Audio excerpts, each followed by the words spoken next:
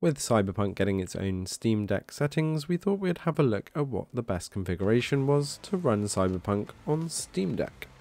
Hey everyone and welcome to Steam Deck Gaming, so let's have a look at some configurations for Cyberpunk on Steam Deck. So we've got four running on the screen here, each with different setups and see which one off the bat you think looks best. One, two, three, or four. Now I'm going to run through each of these configurations and we're going to just have a quick look at a freeze frame on each here, starting with number one, then two, three, and four. The first one you saw is actually the Steam Deck recommended settings. The second one's slightly tweaked from that to get rid of those motion blur and chromatic aberration settings.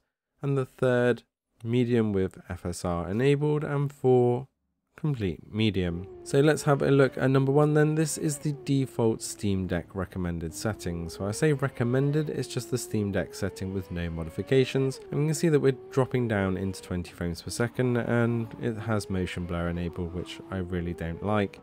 So let's go on to configuration 2 where we're going to turn off all these film grain, chromatic aberration and motion blur effects tweak down the ultra settings down to just highs and we're also going to enable the FSR to be on ultra quality. Now we also have the dynamic resolution off so let's have a look at what that did.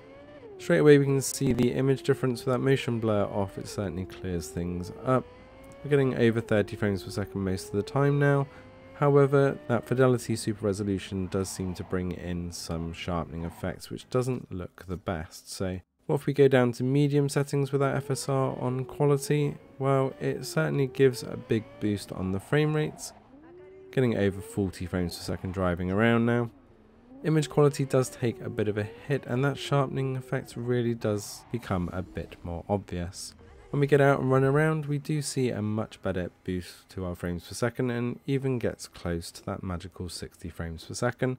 So certainly is a lot better with that combination of medium and FSR on ultra quality. I'm sure if we go down into balance we'll probably get a much more stable 60 frames per second.